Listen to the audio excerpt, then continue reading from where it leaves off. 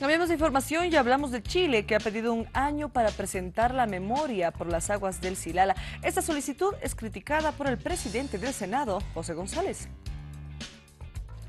El canciller de Chile, Heraldo Muñoz, comunicó que la Corte Internacional de Justicia de La Haya definió los plazos procesales que Chile y Bolivia tendrán para la presentación de su memoria y contramemoria respectivamente en el juicio que el vecino país le instauró a Bolivia por las aguas del Silala en junio pasado, solicitando que el tribunal declare al Silala como un río internacional.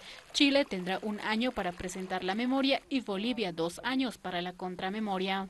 Eh, Chile tendrá un año, ¿no es cierto? Y bueno, seguramente ellos en ese tiempo harán los esfuerzos para tratar de convertir un, una canaleta en un río, ¿no es cierto? Es decir, yo no sé qué harán, tendrán que recurrir a, a físicos, cuánticos o a, no sé, un fenómeno natural nunca antes visto.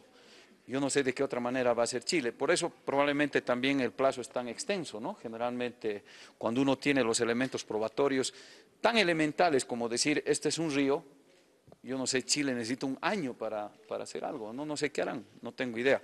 El pasado 7 de junio, el presidente Evo Morales comunicó la decisión de presentar una contrademanda acusando a Chile del uso ilegal de las aguas del Silala, dado que, según los parlamentarios bolivianos, a nuestro país cuenta con los argumentos necesarios para desmontar la teoría chilena de que se trata de un río internacional y no un manantial, como sostiene el Estado boliviano.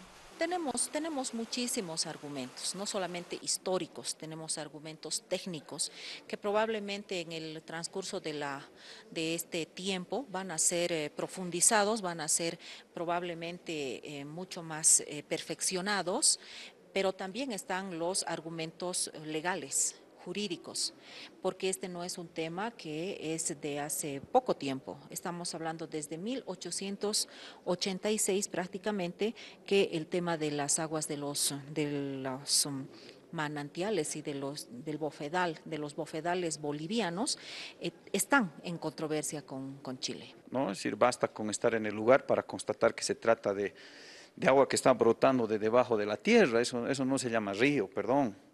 Ese es un manantial, o sea, son ojos de agua que, casi un centenar de ojos de agua que acumulan una gran cantidad de agua, que de no ser por la intervención de la mano humana, de ingenieros, de constructores que han hecho esos ductos, esa agua nunca jamás se hubiera podido eh, trasladar, se hubiera podido mover, esa agua estancada, como cualquier manantial.